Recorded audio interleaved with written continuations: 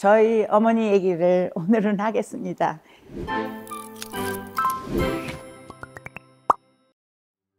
여러분 안녕하십니까? 정신과 의사 수전 정입니다. 제가 일생을 살면서 가장 크리스천, 살아있는 크리스천으로 느껴진 분이 두 분이 있습니다. 그리고 제가 존경하는 분들이고 한 분은 저의 고등학교 때 영어 성경반 선생님이셨고 저를 의과대학으로 가라고 강력하게 추천하셔서 보내주셨던 닥터 윌리엄 스코필드 한국 이름은 석코필 자기가 항상 본인을 나는 호랑이라고 그러셨었습니다. 왜냐하면 항상 옳은 말을 하셨고 어떤 문제가 있어도 그 의견을 굽히지 않으시고 그 힘들 때 한국에 오셔가지고 선교사로 오셔서 한국 사람들이 3.1 운동하는 거 도와주시고 세계에 알리다가 4년 만에 일본 정부에 의해서 캐나다로 다시 추방되셨었죠. 다시 가시고 거기서 이제 그때 토론토 술가 대학에서 교수하시고 은퇴하셔가지고 이승만 대통령께서 이제 다시 초빙하셔서 우리나라에 오셔가지고 본인이 결심했던 대로 나는 이 나라에서 묻히리라. 그 말씀하신 대로 그대로 지금 현충원에 애국자 묘에 어, 그 묻혀 계신 유일한 외국인이십니다. 그때 그3.1 운동한 것을 전부 사진으로 찍어서 외국에 알리면서 한국인은 일본인들이 말하듯이 그렇게 미개한 민족이 아니다. 5천 년의 역사를 가지고 있는 훌륭한 민족이고 이것은 심리학이지 무슨 문명해 주겠다는 거는 말도 안 된다. 그러면서 그걸 말씀하셨던 아주 훌륭하신 그제 멘토셨습니다. 그래서 그분이 한 분이고 그다음 두 번째 분은 저에게 더 가깝게 느껴지는 저희 어머니입니다. 어머니는 그 평안남도 개천이라는 자그마한 시골 평양에서 가까운 곳에서 태어나셨고 거기서 만난 아버지와 같이 결혼하셔가지고 18살에 저를 출생하셨습니다. 아버지는 그때가 26세였고요. 그리고 아주 가난한 아버지 집에서 사시고 있는 동안에 아버지가 이제 먼저 이남으로 피난을 오셨고 어머니는 저를 업고서 그 다음에 이제 할머니하고 같이 저를 데리고 서울로 오셨고 그 다음에 힘든 시간을 지내시면서도 꿋꿋이 어, 저희들 네 남매를 전부 다 기르셨습니다. 그리고 제가 이제 30대 말기쯤에 저희 아들을 낳았을 때 모든 것을 제치고 이제 저를 도와주러 오셨다가 이제 그다음부터 미국에서 저랑 같이 살으신 분입니다. 그래서 저희 어머니 이제 memorial 주기가 지금 5년째 곧 옵니다. 그래서 어머니 생각이 더 나서 오늘 여러분하고 나누고 싶습니다. 저희 어머니가 우리들에게 하신 말씀 중에서 지금 항상 기억나는 거는 죽으면 썩을 몸 아껴서 뭐 하겠니? 그래서 남보다 더 열심히 교회 가서도 일을 하셨고 남보다 더 열심히 집어내냈어도 저희를 챙겨주셨고 항상 솔선수범해서 뭔가를 더 많이 일하시고 더 많이 봉사하시는 것 그거를 늘 보여주셨습니다. 그래서 저희들도 죽으면 썩을 몸 아껴서 뭐하니 그런 거를 지금도 저는 동생들하고 가끔 얘기를 하면서 웃는데요. 저희 동생은 정말 그거를 그대로 실현하고 지금 아, 간호사로서 한 40년을 일하고 있는데 가장 믿을 만한 간호사로 다른 간호사들도 뽑았고 환자들도 뽑았고 그랬습니다. 아, 지금 시애틀에 살고 있지요. 저는 어머니 말씀대로 그렇게 열심히 일은 못하지만 그래도 어, 봉사하고 남을 도와주고 이러는 것에 좀 더 신경을 씁니다. 그것이 어머니를 가장 우리가 추모하면서 기억하는 좋은 그 모델이기 때문이죠. 그리고 이제 또 어머니가 하신 말씀이 여러 가지가 있는데요. 몇 가지만 더 말씀드리겠습니다. 제가 이제 그렇게 어려울 때는요. 누군가는 이야기를 해야 되는데 제가 함부로 환자 얘기를 할 수가 없거든요. 그게 어떻게 새어나갈 수도 있고 정신과 의사로서는 아주 터부입니다. 환자 얘기를 누구한테 하는 거. 그러나 저희 어머니는 제가 믿으니까 어머니의 항상 의견을 제가 여쭤봤습니다. 엄마 이런 케이스가 있는데 어떻게 하지? 내가 참 한, 처리하기가 힘들어. 그러면은 어머니가 음, 너가 그렇게 열심히 노력하고 음, 그 공부하고 모든 게 잘 될 거다. 걱정 마라. 안심을 시켜주셨습니다. 그래서 대개는 잘 됐습니다. 아, 근데 그 얘기를 함으로써 제가 그 다음날 나가서 일을 할 수 있는 힘을 얻었죠. 그 얘기를 하다 보면 제가 제 얘기를 들으니까 어, 내가 이거 잘한 판단인가 아니면 잘못된 건가 이게 제가 미루어서 이렇게 다시 어, 판단하는 데 도움이 됐습니다. 그런데 이게 누구에겐가를 이야기한다는 것이 이렇게 중요하다는 걸 저는 그때 제 환자들한테는 그런 얘기를 많이 했지만 저희 어머니를 통해서 더 배웠습니다. 어, 너는 잘 열심히 했으니까 잘 될 거다. 그게 이제 두 번째 저희 어머니가 저에게 남겨준 말씀이고요. 또 그다음에 어떤 케이스가 있었냐면요. 어떤 그 옛날에 MP military police를 했던 여자가 지금은 security guard로 일을 하면서 어느 날 멋있게 생긴 남자가 지나가다가 자동차로 좀 태워다 줄 수 없냐. 그래가지고 그 남자를 데리고 가다가 아주 잘생기고 그러니까 자기 집에까지 가서 저녁까지 먹였는데 그 다음에 권총 들이대고 강도가 된 걸 보고서 한 거를 너무너무 그, 그것 때문에 이제 자기가 쇼크를 받아가지고 밤에 응급실로 왔더라고요. 자기가 그 다음날 나가서 도저히 일을 못하겠다. 그러니까 병가 그 허락서를 좀 써달라. 근데 제가 그때 한국에서 온 지 1년이 안 됐을 때였습니다. 여기 미국에 와서 아니, 그거보다 조금 더 오래됐는데 어쨌든 미국 생활에 그렇게 많이 아직 그 문화에 아직도 이제 많이 그 적응하지 못한 상태였는데 제가 보니까 아니 뭐 자기가 잘생긴 남자라고 이렇게 태워서 집에까지 데려다가 밥까지 먹이고 났으니까 어, 그뭐 자기 잘못이지 내가 왜 그걸 병가를 해줘야 돼 이렇게 생각을 했거든요.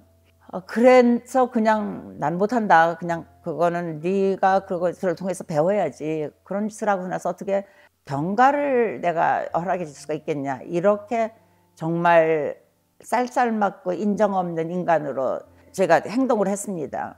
그 물론 그 여자분이 가만히 있겠습니까? 그 다음 날 저희 과장을 찾아와 가지고 그 얘기를 하고 결국 과장한테서 뭐 일주일인가 이주일인가 병가 그걸 받았습니다. 왜냐면은 본인이 너무 심한 외상 후 스트레스 증세를 갖다가 이제 갖게 됐으니까요. 그래서 그때 이제 어머니한테 그 얘기를 했습니다. 그랬더니 어머니가 그건 네 과장이 잘한 것 같다.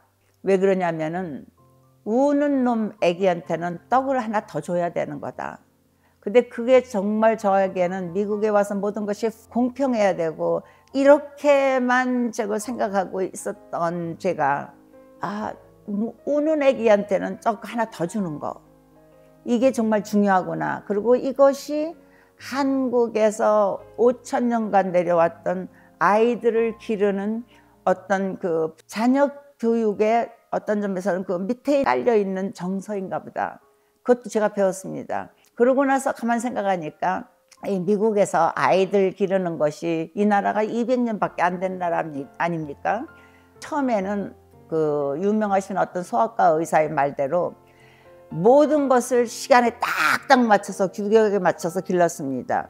아이에게 우유를 주면은 3시간마다 주고 그 전에 울어도 절대로 주지 말고 그때 줘야 되고 아이를 부모방에서 떼가지고 자기 방으로 보내면은 아무리 울어도 가서 거기서 아이를 갖다가 달래주지 말고 지가 혼자서 해결하도록 놔둬야 되고 이제 이런 말씀을 했던 그 의사분이 아이들 페어렌팅에 이제 그 선각자로 그때 많이 미국에서 존경하고 그걸 따르고 있을 때인데 스텔라 체스라는 어느 소아 정신과 의사는 아이들을 가만 보니까 태어났을 때부터 어떤 아이는 조금만 음식을 늦게 주면 더 울어대고 그런 아이들은 잠에서 조금 깨기만 하면은 뭐 난리가 나고 어떤 애들은 좀 중간쯤이고 어떤 아이들은 뭐 그냥 몸만 조금 비틀 별로 큰 문제가 없고 이런 식으로 아이들이 스트레스에 반응하는 것이 전부 다 다르다는 것을 이제 이분이 보고 그 후로 론지튜디널 뉴욕 스타디라는 걸 했습니다.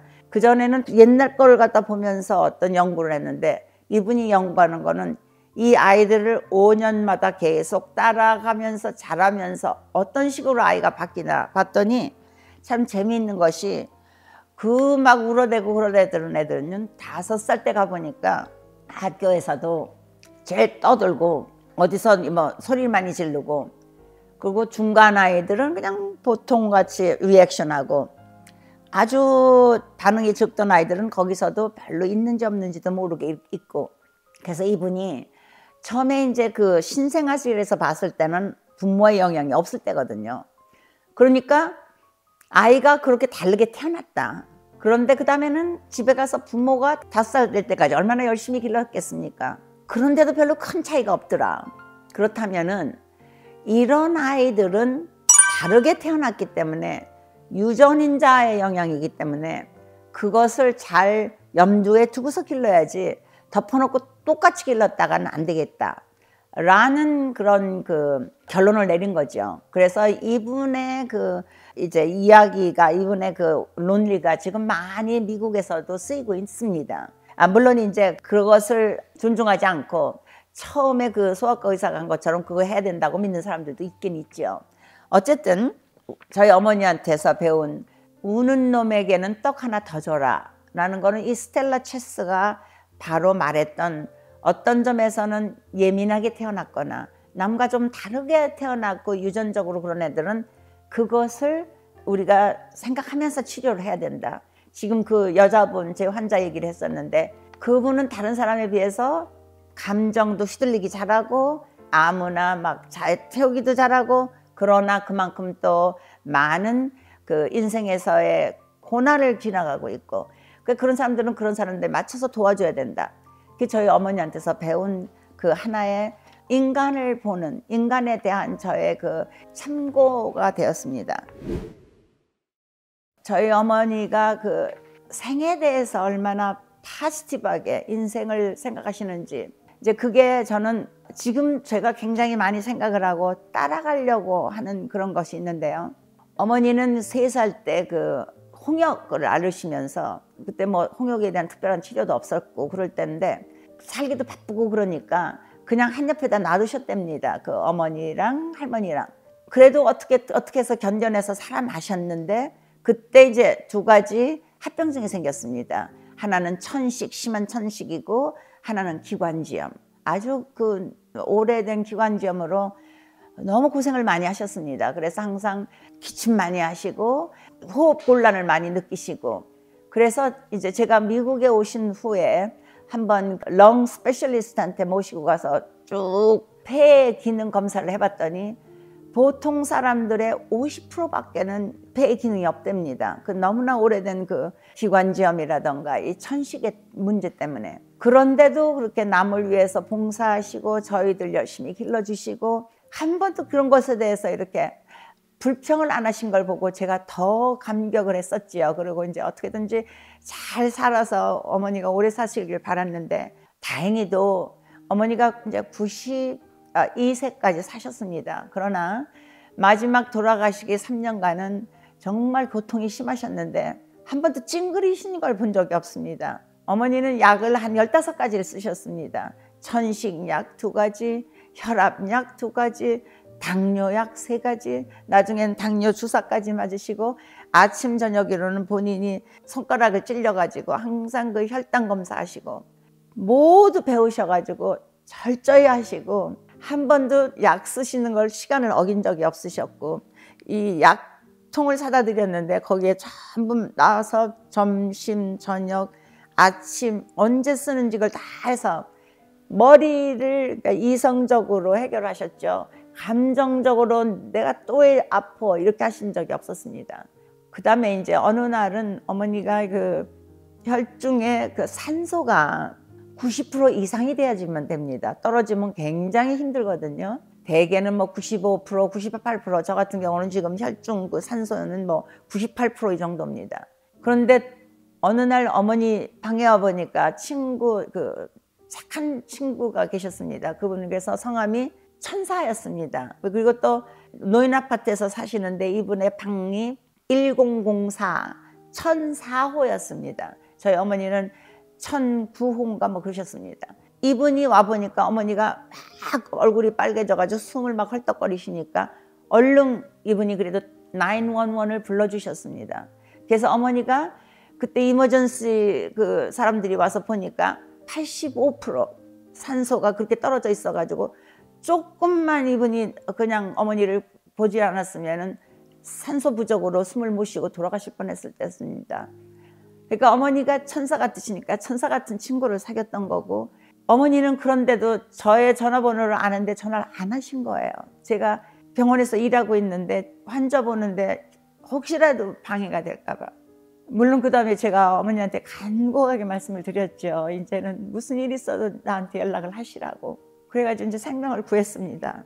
그 후로 점점 점점 낮아져 가지고 고생을 했지만 그래도 나는 죽고 싶다라는 말 한 번도 안 하셨습니다. 항상 우리 손자하고 내 손녀 하나 지금 아직 결혼 안 한 애들 40이 가까운 애들 결혼하는 걸 보고서 어, 나는 그 다음에 갈 수가 있을 거다.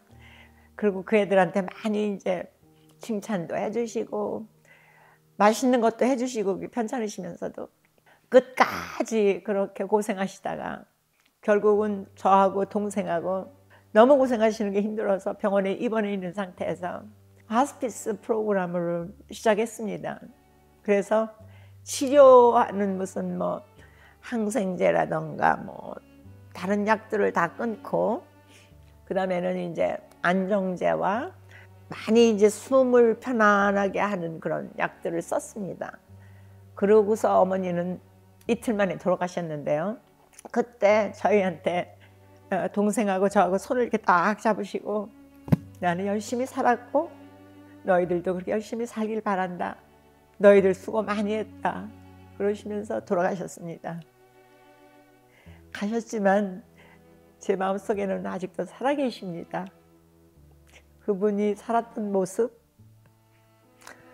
그분이 해주셨던 말, 5년이 지났어도 하나도 잊어버려질 게 없고요.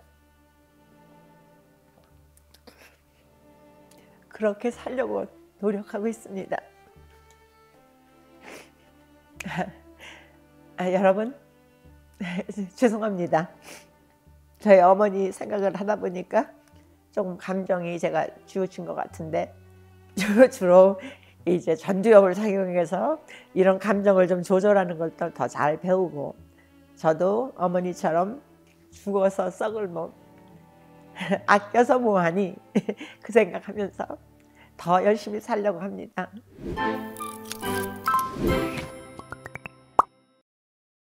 좋아요와 구독 눌러주시고 알람 설정해 주시면 고맙겠습니다. 여러분 안녕히 계십시오.